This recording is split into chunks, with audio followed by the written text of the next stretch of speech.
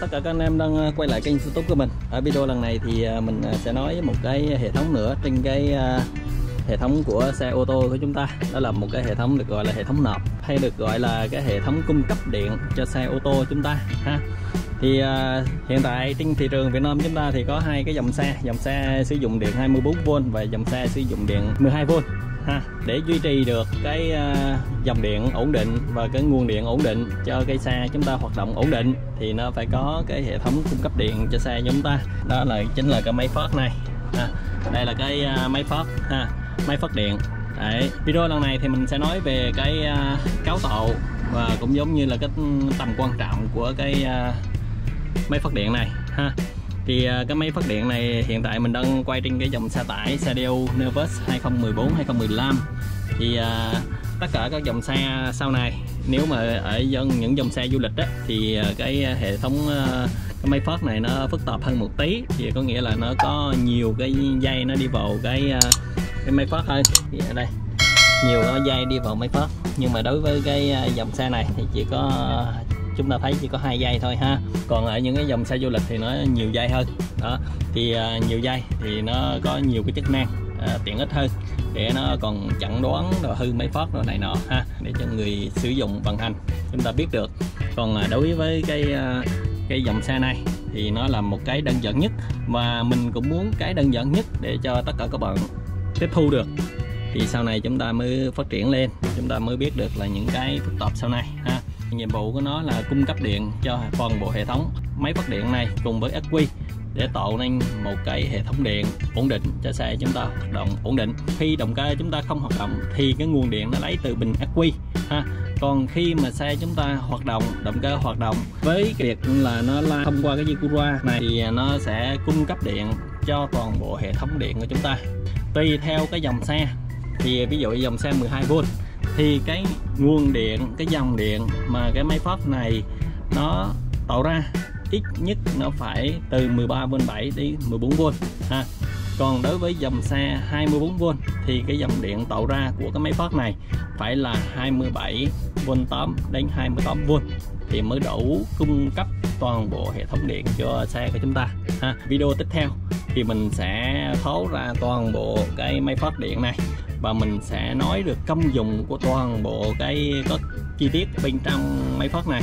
Để cho tất cả các anh em mình biết được vì sao máy phát được chúng ta làm được những cái nhiệm vụ như vậy, ha. Thì để cho các anh em mình có một cái cái nhìn tổng thể hơn về cái máy phát điện trên ô tô của chúng ta. Còn về cái cấu tạo cho đến hôm nay, năm 2024 thì hiện tại mình thấy là máy phát điện chỉ được dẫn động bởi dây cura ha dây cura thì có hai dạng dạng dây cura dạng hình thon tiết diện hình thon này. Và dây cura của nó hình dạng bẩn dẹp ha. Thành phần thứ hai đó là cái phần rotor và cánh quạt tản nhiệt ha. Đó phần ít bữa mình sẽ thấu ra cho cái này mình biết. Và phần xích to là cái phần này đó, đó. rồi bên trong nó sẽ có phần tiết chế rồi rồi nó có những cái bộ phận khác nữa chổi thân rồi nữa ha. Đấy bộ chỉnh lưu iốt rồi nữa đó những cái bộ phận cơ bản như vậy thì à, đối với cái à, máy phát này thì à, nó có hai cái dây như thế này. Thứ nhất là cái dây này được dạy gọi là dây P ha. Thì khi mà máy chúng ta phát điện ra thì cái cái cặp này nó sẽ có điện ha.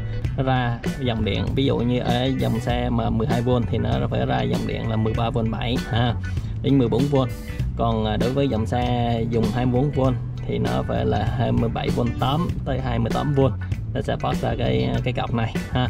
Cọc này sẽ nối tới cọc bình của chúng ta, hoặc là nó nối tới cái đề của chúng ta. Rồi từ cái đề đó, nó sẽ nối một sợi dây điện xuống bình điện, ha. Còn cái dây này, cái dây này có nhiệm vụ nó sẽ nối lên một cái đèn.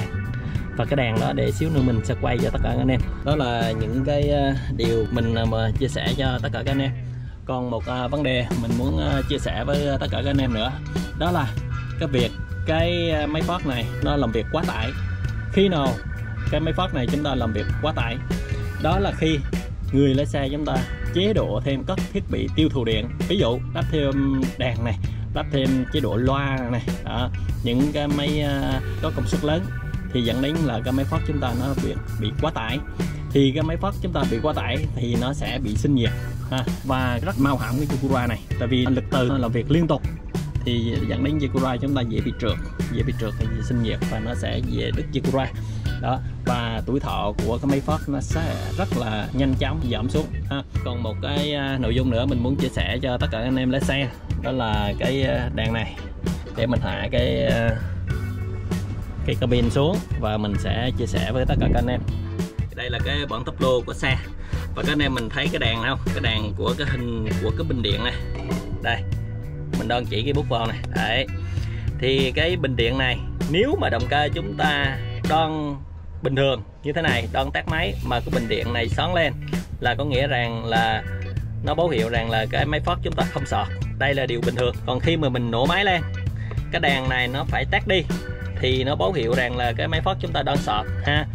Còn nếu mà cái đèn này không tắt đi thì chứng tỏ cái máy phát chúng ta đang bị hỏng cái máy phát.